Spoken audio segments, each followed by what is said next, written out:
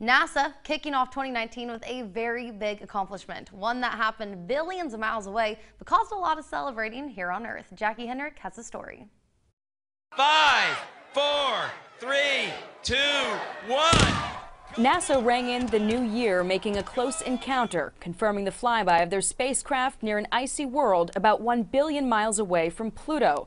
The space agency says its New Horizons spacecraft completed its flyby of Ultima Thule about 30 minutes after midnight. Go New Horizons!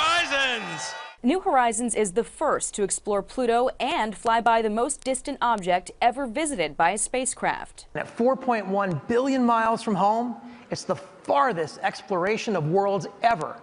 Our first close-up look at one of these ancient building blocks of the planets. NASA also says New Horizons is the first spacecraft to directly explore an object that holds remnants from the birth of our solar system. Scientists hope pictures and data from the spacecraft can shed light on how the sun and planets were formed in the solar system's earliest days. We're using our telephoto camera to take just bang, bang, bang, bang, bang, uh, 900 images in, a, in a, a, row along the middle of that strip that will be hopefully um, centered on Ultima. New Horizons is the size of a baby grand piano and part of an $800 million mission. On hand for the festivities, Queen guitarist and astrophysicist Brian May, who provided new music for the event.